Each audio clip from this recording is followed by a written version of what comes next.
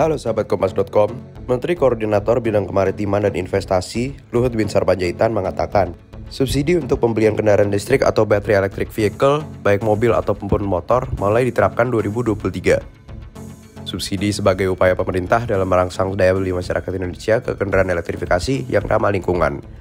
Seraya mencapai target RI menuju zero emission pada 2060 mendatang.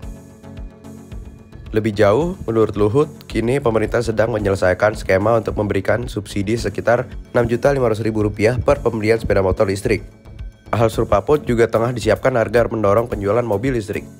Namun, ia belum memberikan secara rinci bagaimana besaran subsidi untuk mobil listrik dan skema keduanya. Tapi dipercaya, hal itu dapat memberikan angin segar bagi industri otomotif nasional. Sebelumnya, Kepala Staf Kepresidenan RI, Muldoko, menyatakan bahwa subsidi ataupun insentif untuk pembelian dan konversi kendaraan listrik sudah selesai. Kini, draft tersebut sudah berada di Kementerian Keuangan untuk dikaji ulang sebelum diundangkan.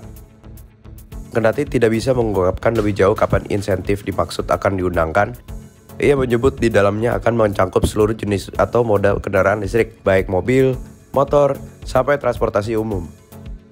Artinya ke depan, Selain kepemilikan mobil dan motor listrik pribadi, seluruh angkutan umum yang beroperasi akan didorong untuk juga beralih ke moda yang lebih ramah lingkungan. Indonesia sendiri memiliki target setidaknya 1,2 juta adopsi sepeda listrik dan 35.000 unit mobil listrik pada tahun 2024.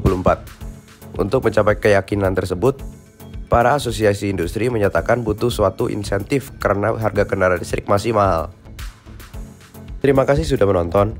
Ikuti terus berita otomotif Kompas.com dan jangan lupa like, komen, dan subscribe untuk mendapatkan notifikasi terbaru dari video kami selanjutnya.